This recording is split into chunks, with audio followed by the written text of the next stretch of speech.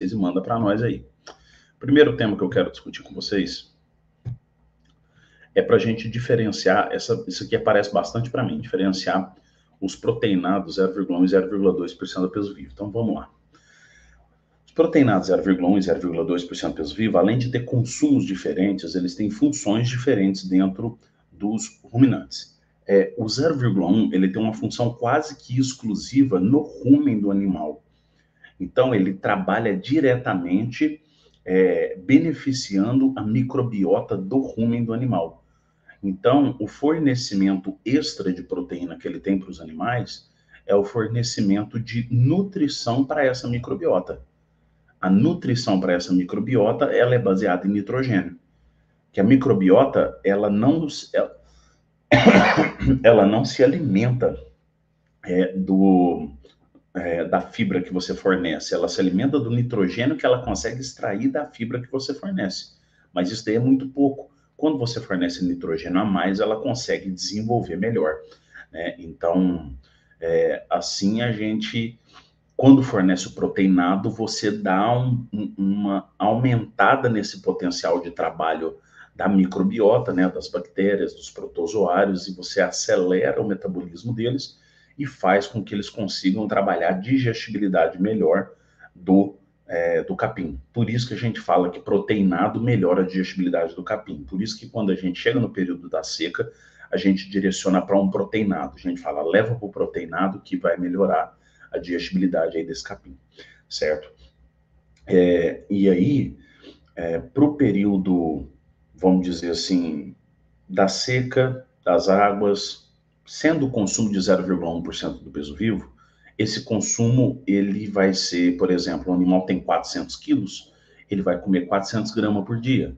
O animal tem 500 quilos, vai comer 500 gramas por dia. No período da seca, pode até ser que aconteça do animal subir esse consumo. É normal isso acontecer.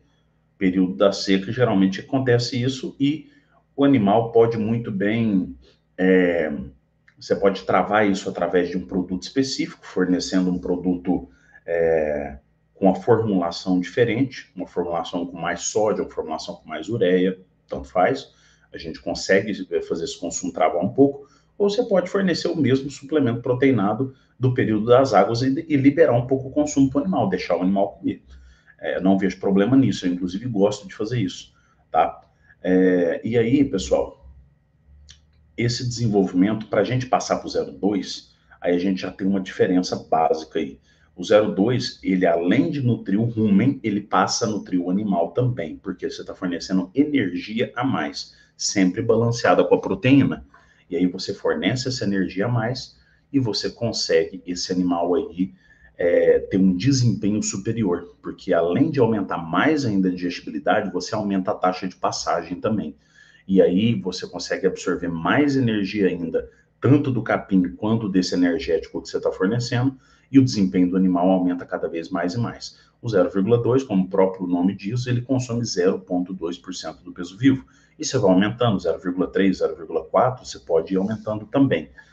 Você vai aumentando a quantidade de energia que você fornece, tá? Aí, nesse caso, é, 0,2% do peso vivo ele é, essa energia extra que você fornece, eu gosto muito de usar isso daí no período da seca também, só que o principal é o período das águas.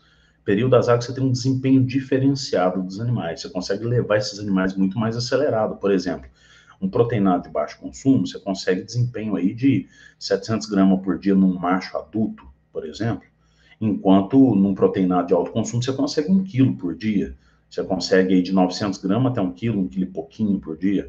Então, o diferencial é muito grande e isso daí reduz muito o custo por arroba produzida. E reduz bastante o tempo de permanência do animal também. Certo, pessoal?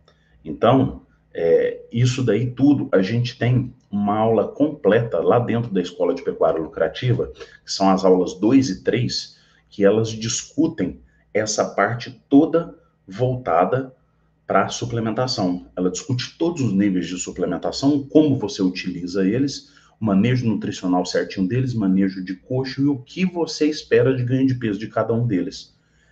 eu sempre considero dentro da escola uma das principais aulas para você depois estruturar os, os, planos nutricionais lá na frente. Então, tudo que eu falo lá na frente, na Escola de Pecuária Lucrativa, sobre plano nutricional, eu falo assim, assiste a aula 2 e 3, que são os níveis, é, os níveis de suplementação, né? Foram precisas duas aulas, porque é muito conteúdo, é bem pesada a aula. E aí, a gente passa por toda a escadaria da suplementação, e aí a gente caminha mais para frente, tá bom?